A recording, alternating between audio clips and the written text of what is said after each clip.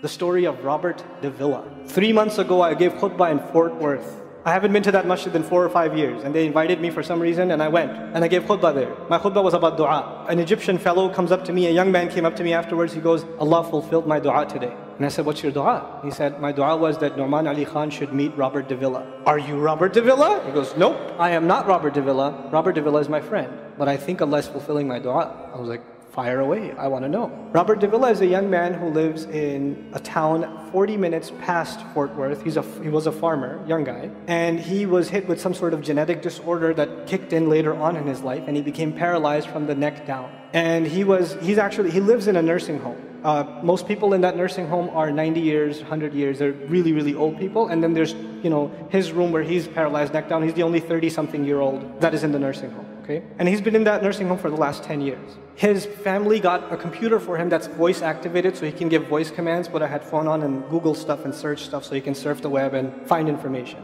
And by the way, staunch Christian family, the minister comes and prays for him every, every, you know, every week and things like that. And his best friend was in the bed next to him. One of his best friends. He became best friends because he met him at the nursing home. This person was also paralyzed and he needed a new liver, okay? A liver transplant. He was waiting for a liver, liver transplant. And they used to talk about, you know, God and things like that all the time. They were good friends. Finally, his best friend got a call that there's a donor available for the liver. So he's so excited. He goes, Robert, I'm going to miss you, but I'm going. I've got a, I've got a donor. So they take his friend and they go on the op- into the operation, and his friend died at the operating table. Now his friend, uh, who's also a Christian, the, the deceased friend, his sister took one of the, the amulets of his friend, a, a crucifix, and she gave it as a gift to Robert. This is a reminder of your old buddy. So he hung it on the side of his hospital bed. Robert Davila lives a pretty decent life in there. The nurses take care of him. He's a happy guy. And one day he goes to sleep and he sees a man in his dream. That man says his name is Muhammad. And he says, pointing at the crucifix, God did not send messengers so they would worship the messengers. God sends mes- sent messengers so could, you could worship God.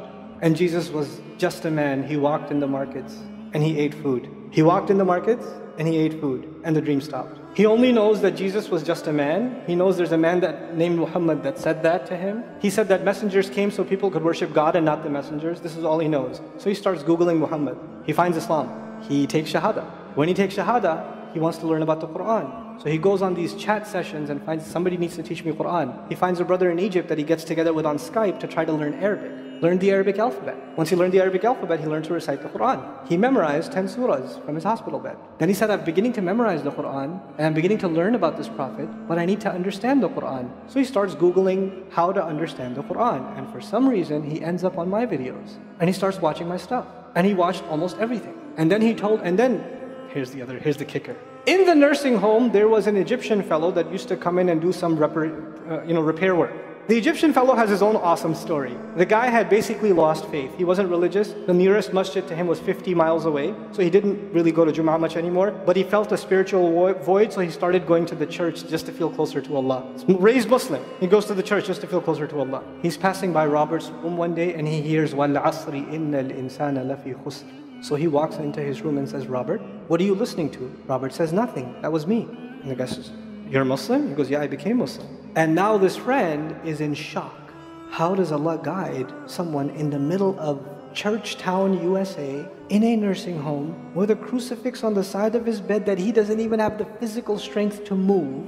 And the guy himself says, I want to come back to Allah. So he tells him about his, you know, the friend he found online, Nouman Ali Khan. So the Egyptian fellow starts watching my videos. And then he says, I wish I could meet him one day. And he says, okay, I'll, I'll pray for you. And after five years, that Egyptian friend shows up at the same masjid that I haven't been to in four years.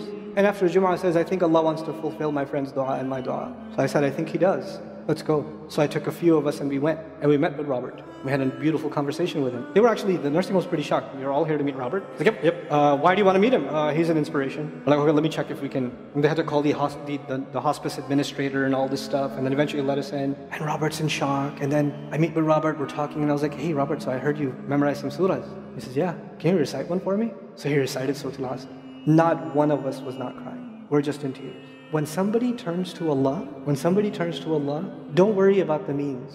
Guidance will come. Balance will come. I want to tell you some more about Robert because young guys are here. Young guys that play basketball, young guys that are healthy, young guys that have ambition. I told you what's his paralysis from where to where? Neck down. He has a special wheelchair that has to hold pretty much every part of his body in place. He can't just sit in a wheelchair. It holds his neck and it holds every other part of his body in place because it, he has no control over his limbs. And he has to have a special van where the wheelchair locks in so that if it goes through a bump or whatever, he doesn't, you know, receive the shock. So he made a request, he wants to go to the Friday prayer. They didn't have the special van, so they put him in a regular van. And so he went to the regular van and a few bumps and his spine got even more hurt. He went to Jumu'ah, he came back in excruciating pain, and they said, I'm sorry, Robert, you're no longer able to sit in your wheelchair. You're gonna have to stay in your bed for the next six months at least. If you see recovery, then you can get back up again. I met him in those in that span. He'd already been in that bed for, for three months already. And the reason he was in that bed is he went to the Jummah prayer. And he told me about the Jummah prayer. He said, I've never felt more peace in my life than I was in that masjid. And you know what I'm going to do, Brother Nouman? When I can, when I can sit in my chair again, I'm going to go to. I'm going to go to the masjid because I've never felt like that before. There's someone who has nothing but control over his, his mouth and his eyes. And he says, I only find peace in the masjid. And here we are. If Allah can guide Robert Davila, Allah guide everybody. And then he said, you know, sometimes I wonder why Allah put me in this position. And then I say to myself, what am I kidding? Allah has given me so much. I am so grateful for what He gave me. And if this is the way He was going to bring me to Islam, it's all worth it. So worth it. You have Muslims that lose a little bit of health and they say, Why is Allah doing this to me? And this man, I mean, if you would think nowadays atheists argue because of suffering, there's no God. If one man has a position in a position to say, I, I don't believe in God. If there was a God, why would I be in this position? It would be Robert Davila. That guy would say, I don't believe in God. If there was one, why would I be in this mess? And yet he's in this position, and I've never seen a face with more nur. Never. I've never seen a face that has more contentment on it. He's so satisfied with life. He's so happy. He's just happy. The last seven or eight khutbahs I've given are actually based on one sentence per, each on one sentence that he said in his conversation. Is that profound? He's, been, he's a teacher to me. I consider him a teacher. He's my sheikh. Somebody says, who's your sheikh? I say, Robert Davila. The guidance is all around us.